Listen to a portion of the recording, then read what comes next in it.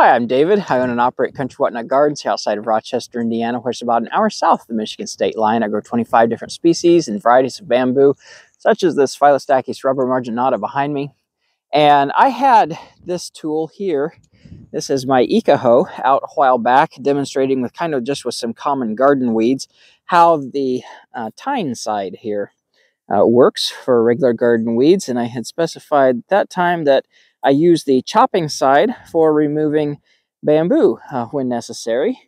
And here I have, amongst the lawn grass, underneath this uh, weeping cherry right here, flowering weeping cherry. It's beginning to show signs of flowering. There's some buds coming out, but this rubromarginata has come over here and is growing on this berm, which is the berm to my iris rain garden right there. And it has come from that grove of rubromarginata right there, traveled over here and right there. Rubromarginata is a species that uh, does not hold true to the general rule of thumb about spreading only as far from the edge of the grove right there this way outward as the tallest culm is high. It tends, although it is pretty tall, it tends to push that rule of thumb uh, more so than some of the other bamboos that I have.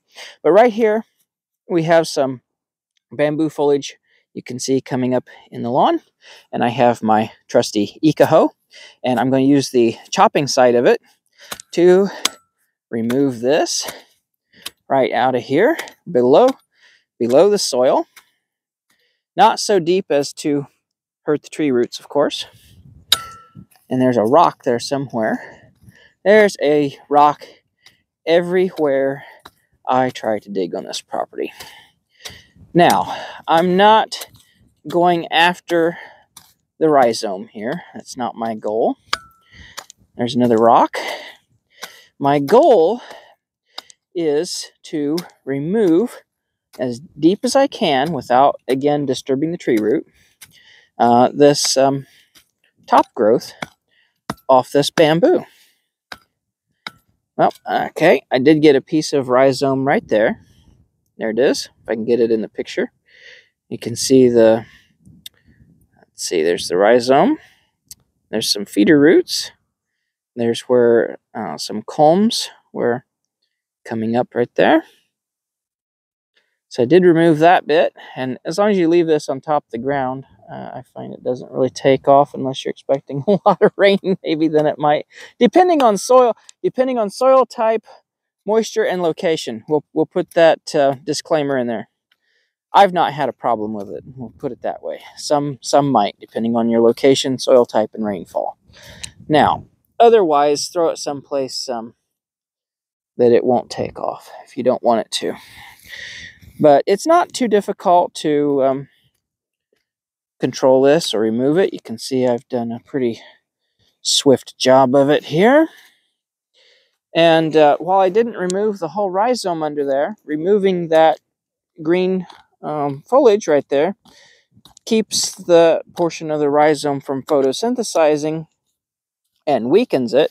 And you can see down here across the ground, you can see it's still fastened uh, is a rhizome that was has actually been exhausted by this treatment because it didn't have any green leaves left, and so it it died.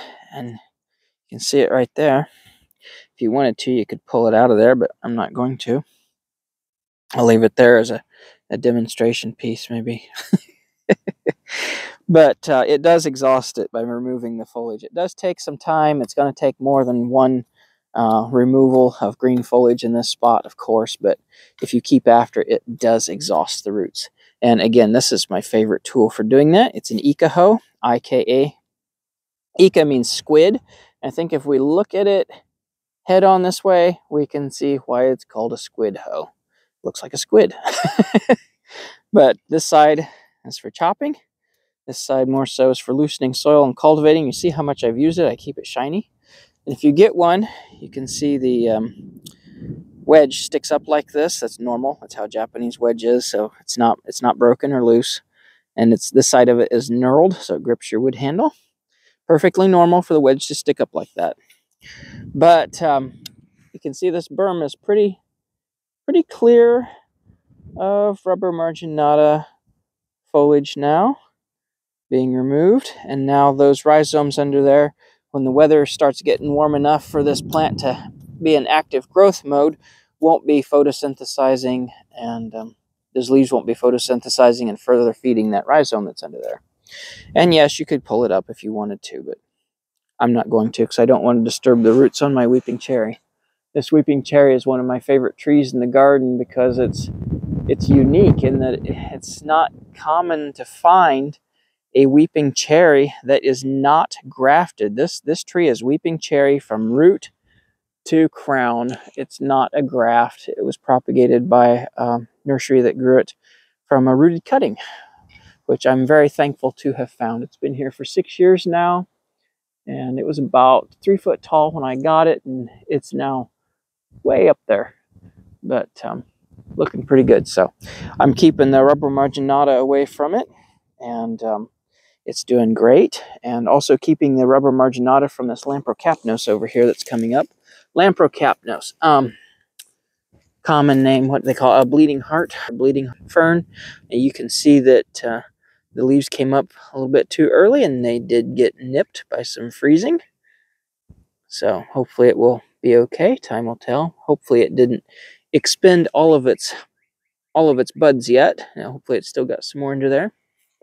But it likes being here underneath this high canopy of this weeping cherry tree. It gives it just about the right amount of shade. And um, it does pretty well here. But anyway, that has been a look at removing foliage off of off of some bamboo in the yard and how it's done and how to exhaust this root system. So if you liked the video, please give me a like, subscribe, and share. I'd really appreciate it. Until next time, thank you for stopping by and take care. Bye.